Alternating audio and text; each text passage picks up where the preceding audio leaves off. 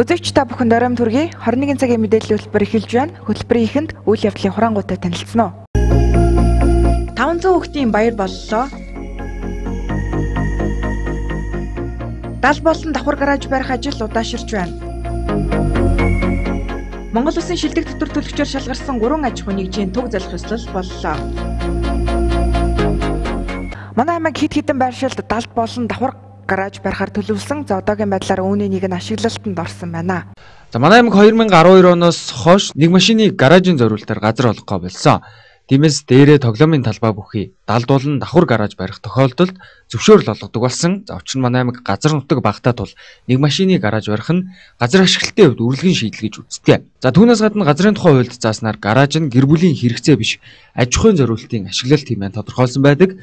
Тиймээс хотын хэд хэдэн байршил буюу оюут, уурхайчин, урт булаг, согоот зэрэг багуудад дээрээ тоглоомын талбайтай далд гараж барихаар болсон. Тодорхойлбол 2 дугаар микрийн 4 болон 5 дугаар байрны дунд 3 дугаар хорооллын 10 болон 11 дугаар байрны дунд 5 6 дугаар хороололд дээрээ тоглоомын талбайтай далд гараж баригдахаар холбогдох бодлогод нь туссан. За үүнээс одоогоор 5 дугаар хороололд далд гараж ашиглалтанд орсон.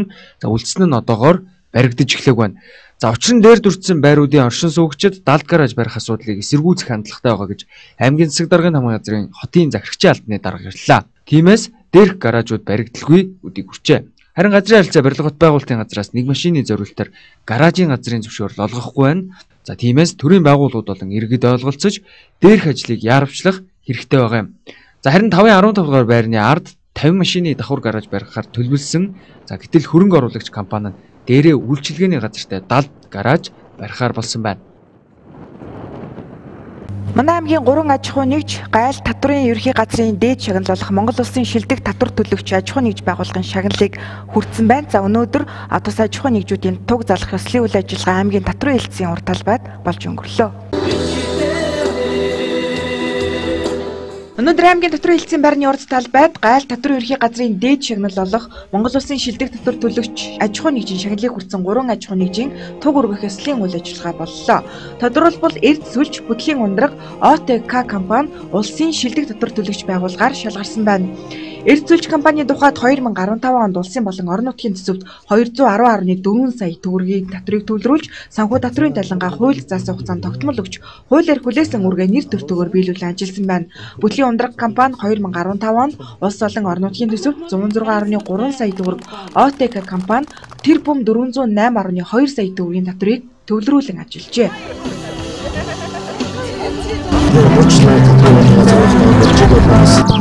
Шилдэг татвар төлөгчдийг шалгаруулдаг байсан. За энэ удаад бол гайл татрын ерөнхий газрын дээд шагналуулах Монгол Улсын шилдэг татвар төлөгч гэдгийг шагналыг бол гурван аж ахуй нэгж маань хүртсэн байна. Энэ бол улсын бол орон нутгийн төсөвт бол шилдэг татвар төлөгчдөнд маань шалгаруулах болцсон төлсөн татврын хэмжээ За тэгээд ажлын байр ажил ажил үүргээ гүйцэтгэсэн байдал гэдэг маш олон шалгуур үзүүлэлтээр болдог байгаа. Ингээд энэ шалгуур үзүүлэлтийг хангаж орон нутгийн улс орон нутгийн төсөвт бол нэлээд жинтэй үн нэмэр авсан юм газрууд маш их. Манай компани өнгөрсөн онд улс орон нутгийн төсөвт нийтдээ 240 гаруй сая төгрөгийн давтар төлсөн.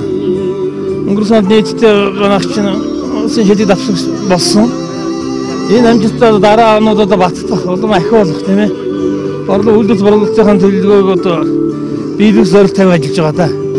Манай компани бол э, ерөөсөө үндсэндээ оюутны салбарын компани. Ерөөсөө оюун говс голж үйлдвэрлэдэг. Одоо зах зээлийн оюун говсны үйлдвэрлэл бол энэ сөөхөн байж үү. Манайх ч одоо улсын хэмжээнд одоо оюун говсны салбарт дагнаад үйлдвэрлэлийн үйл ажиллагаа явуулж байгаа. Компани 15 он төлсөн татвараараа аймгийн шилдэг татвар төлөгч болсон.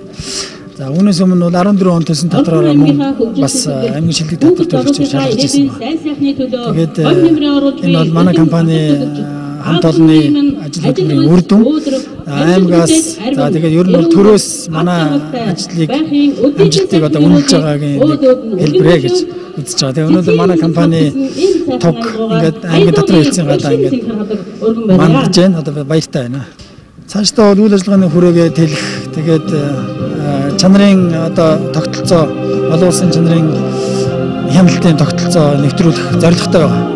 Монгол Улсын шилдэг татвар төлөгчөөс гадна аймгийн хэмжээнд 30 аж ахуй нэгжийг аймгийн шилдэг татвар төлөгчөөр шалгаруулжээ. Нэмж мэдээлэхэд аймгийн татварын хэлтс өнгөрөх жанд улсын төсөвт 7.5 тэрбум төгрөг, орон нутгийн төсөвт 42.8 тэрбум төгрөгийг төлрүүлэн ажилласан байна. Цаашдаа татварын хэлтсэн татвар төлөгчөдд хүндрэлж иргэдэлгүй шуурхай үйлчлэх зорилтыг тавин ажиллаж байна. Нийгмийн татгалын сангаас нийт даатгуулагчдаа үзүүлдэг тусламж үйлчилгээний нэг бол тэтгэмж байдаг. За нийгмийн татгалын үндэсний зөвлөлийн ээлжид хуралдаан хуралдаж тэтгэврийн сангаас олгогддог оршуулгын тэтгэмжийн хэмжээг нэмэгдүүлсэн байна. За энэ нь эх 6 дугаар сарын 1-ээс хэрэгжиж эхлэх юм байна. Нийгмийн татгалын үндэсний зөвлөлийн ээлжид хуралдаан болж тэтгэврийн сангаас олгогддог оршуулгын тэтгэмжийн хэмжээг 1 сая болгон нэмэгдүүлсэн байна. Ингэхдээ 2013 оноос хойш мөрдөгдөн олгогдож байсан 620 мянган төгрөгийн хэмжээг 400 орчим мянган төгрөгөөр нэмэгдүүлсэн. Үүнийг эх 6 дугаар сарын 1-ээс мөрдөж эхлэхээр болсон байна. За тэтгэмж маань бол за тэтгэмжүүдийн нэг төрөл нь бол оршуулгын тэтгэмж буюу өнгөрсөн хугацаанд 13 оноос хойш болвол оршуулгын тэтгэмжийг нэг удаагийн буцалтгүй одоо тэтгэмжийг 620 мянган төгрөгөөр одоо олгож байсан. За тэгээ сая 2016 оны 5 сарын 17 нийгмийн даатгалын үндэсний зөвлөлийн хурлаараас сая энэ асуудлыг авч хэлэлцээ сая төгрөг болгож одоо нэмэгдүүлэхээр ингэ шийдвэрлсэн байна. Тэгээд энэ сая төгрөг болгож нэмэгдүүлсэнийг 16 оны 6 сарын 1-ээс эхлээд мөрдөж эхлэхээр гэж тушаалнал гарсан байлаа. Нийгмийн даатгалын шимтгэлийг тасралтгүй 3 жил төлсөн даатгуулагчдад оршуулгын тэтгэмж олох эрх нь үүсдэг. Хуульд зааснаар тэтгэмжийн даатгалын шимтгэлийг 36 сараас доошгүй хугацаагаар төлсөн даатгуулагч ердийн өвчин ахуйн ослын улмаас нас барсан тохиолдолд оршуулгын тэтгэмж олгодог. Харин даатгуулагч үйлдвэрлэлийн осол мэрэгчлээс шалтгаалсан өвчний улмаас нас барсан бол оршуулгын тэтгэмжийн шимтгэл төлсөн хугацааг харгалзахгүйгээр олгоно хэмээн заасан байдаг байна. Өнөөдөр аймгийн хэмжээнд дэлхийн зүүн олон улсын байгууллага Эрдэнэ үйлдвэртэй хамтран 500 хүүхдийн баярыг тэмдэглэн өнгөрүүллээ. Энэ үйл ажиллагааг Улаанбаатар хотод мянган хүүхдийн баяр нэртэйгээр тэмдэглэдэг байсан бол Улаанбархан өвчний тархалт өндөртэй байгаатай холбогдуулан анхудаа орон нутагт зохион байгуулжээ. 1 2 3 Дэлхийн зоол улсын байгууллагаас олон улсын хүүхдийн эрхийг хамгаалах өдрийг тохиолдуулан мянган хүүхдийн баярыг зохион байгуулж байна. За ингэснээр хүүхдийн баяраар баярлах боломжгүй эмзэг үлгийн хүүхдүүдийг баярлуулж за ирээдүйнхээ төлөө ихтгэл дүүрэн тэмүүлэх урам зориг нэмэх зорилгоор баярыг нь тэмдэглэж өгч нэр алдартай дуучид уран бүтээлчдтэй хамтдаа нэг өдрийг өнгөрөх боломжийг олгох юм байна. За улсын хэмжээнд зохион байгуулагддаг энэ арга хэмжээг 10 дахь жилдээ зохион байгуулж байгаа бөгөөд анх удаа манай аймагт боллоо. Тэгээ энэний зорилго нь болох дээр яг зорилттой төрлийн ялангуяа тэр бүгдийн баярт оролцож чаддаггүй тэр болон баярлаж чаддаггүй амьдралын боломж бүрэлцээгүй тийм хүүхдүүдэд баярлуулж бас амьдралд нь тэ ихтгэл баяр баясгал өгөх зорилготой энэ үйл ажиллагаа явуулж байгаа. Энэ үйл ажиллагаа бид Монголын ирээдүйг гэсэн юм уриандаар явагдаж байгаа. Энэ үйл ажиллагаа зүгээр хүүхдүүд ингээд баяр тэмдэглэлд өнгөрөх хамгийн гол нь энэ үйл ажиллагаа дамжуулаад яг амьдралд аваад бас цаашаа бас нэлээ урд авсан хэмжээ одоо болох зорилготой энэ байна.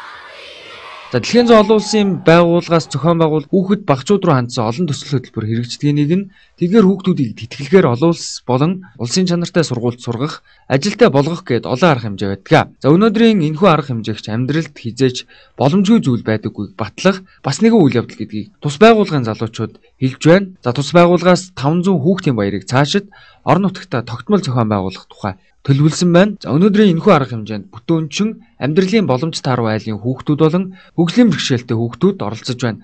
За энэхүү арга хэмжээнд нийт 16 багийн 500 хүүхэд оролцож урлагийн тоглолт үзэж хайртай үлгэрийн бааtruудтайгаа тоглож нэг өдрийг өнгөрөөллөө. Дараагийн мэдээг танилцуулъя. Дайны хараагүйчүүдийн нийгэмлэг Монголын хараагүйчүүдийн үндэсний холбоо хамтран хөдөө орон нутгийн харааны бэрхшээлтэй иргэдийг чадахжуулах тэдэнд тулгамддаг асуудлыг шийдвэрлэх хүрээнд шийдвэр гаргах төвчний албан тушаал бүхий хүмүүстэй уулзалт ярилцлага сургалтын ажлыг зохион байгуулж байна. Манай аймгийн хэмжээнд 400 гаруй харааны бэрхшээлтэй иргэн байдаг байна. Харааны бэрхшээлтэй иргэдийн хувьд ихэвчлэн массажистийн ажил хийдэг гэж байна. Зарим иргэдийн хувьд өөр ажил хөдөлмөр эрхлэх хүсдэгч ажлын байр хомс байдаг нь тэдэнд тулгардаг гол бэрхшээлийн нэг болж байна.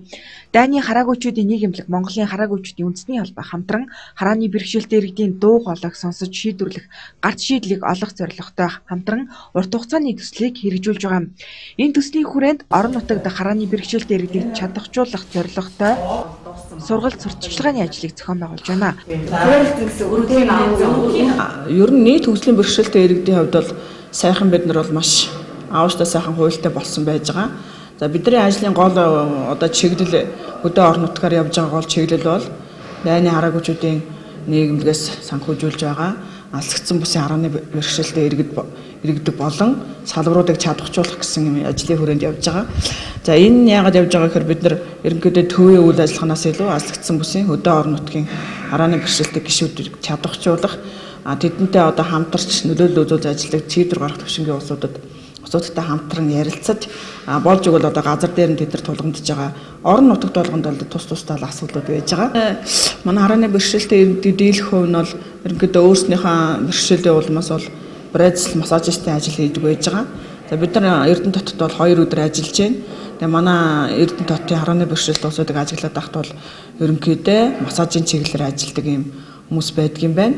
А тэгээ хоёрдугаарт болохоор бас мэдээ мэдээл бэмаратуг ажилуулдаг хуваарай ус хөдөлмөр эрхэлдэг юм ер нь бол ажлын эрч хүчтэй сонирхолтой юм хүмүүс байдаг юм байна.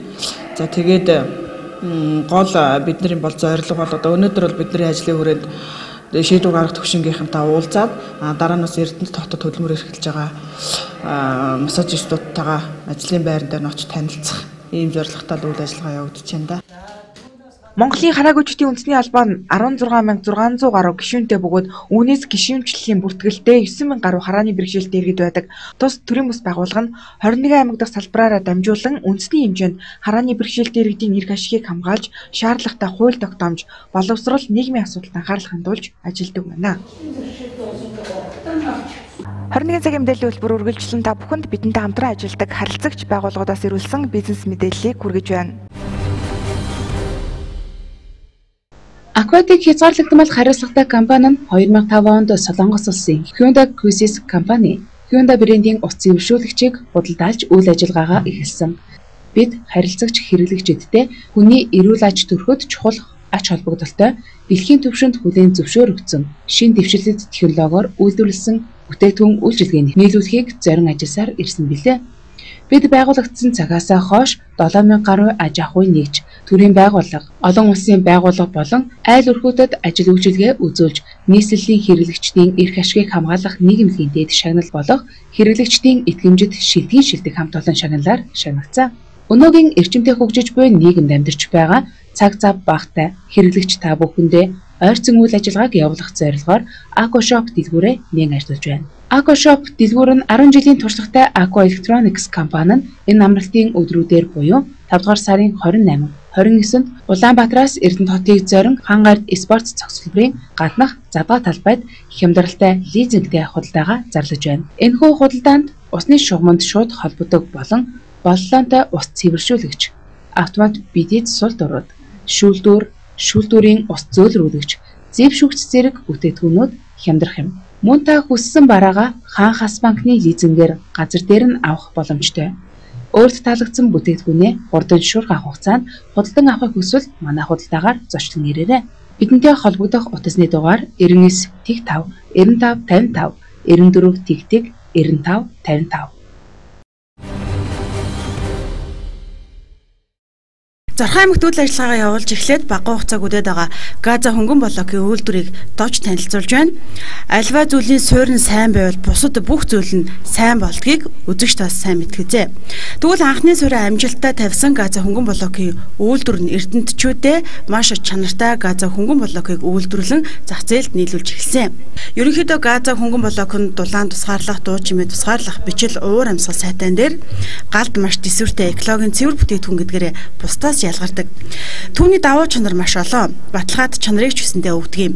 Хамгийн гол нь ажиллахад маш хялбар, за баригдах байшингийн хурдан цолон эдийн засагт үр ашгаа үзүүлж ирсэн нь хэрэглэгчдийг өөр ирэхгүй татаж байгаамаа.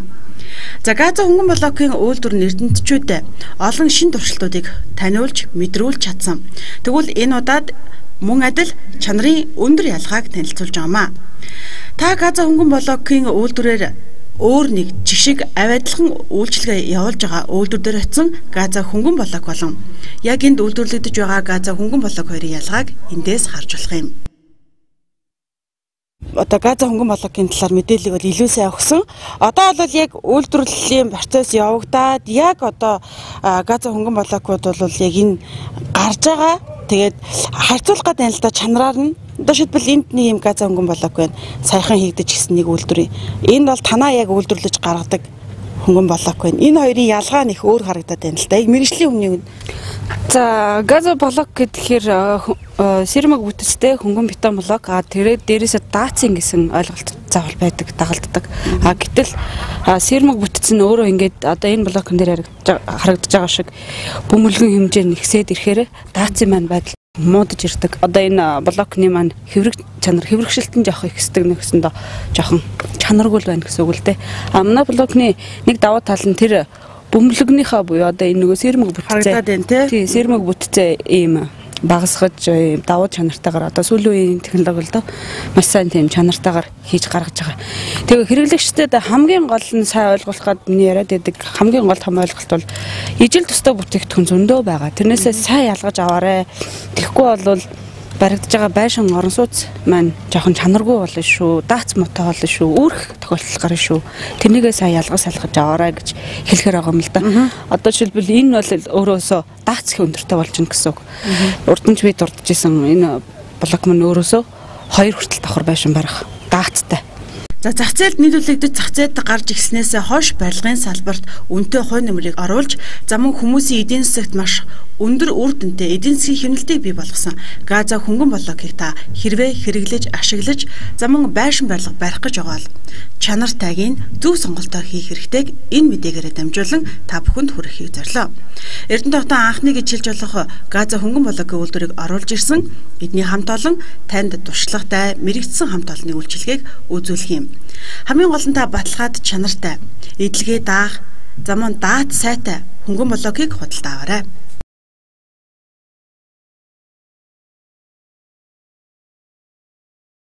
Баасан гарагийн энэ өдөр Орхон аймагт болж өрнөсөн үйл явдлын мэдээ мэдээллийг үзэгчдэд танилцууллаа. Та бүхэн амралтын өдөр аяд тухтай сайхан өнгөрүүлээрэ баяртай үзэгчдээ.